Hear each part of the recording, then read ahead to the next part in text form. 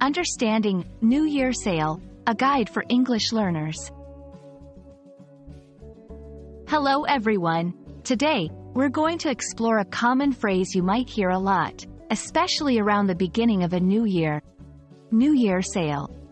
Understanding such phrases is not only helpful for shopping but also enriches your English vocabulary.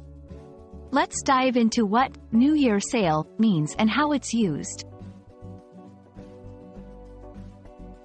New Year Sale refers to special promotions or discounts offered by stores and businesses at the beginning of a new year. It's a marketing strategy to attract customers who are looking to start the year with new purchases. These sales often feature significant discounts and are very popular among shoppers. Businesses conduct New Year sales for several reasons. 1. Clearing old stock. They want to clear out last year's inventory to make space for new items. 2. Attracting customers. Offering discounts can attract more customers. 3. Celebratory mood. The new year is a time of celebration, and sales add to the festive spirit.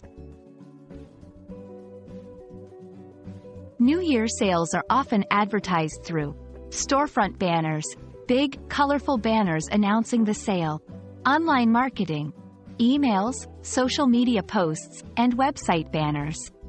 Print and electronic media, advertisements in newspapers, magazines, and on television. To make the most of a New Year sale, consider the following tips. Plan ahead. Make a list of what you need to avoid impulse buys. Compare prices. Check different stores for the best deals. Check return policies. Be aware of return policies for sale items. I hope this video helps you understand the concept of a New Year sale and prepares you for smart shopping as you improve your English. Happy learning and happy shopping!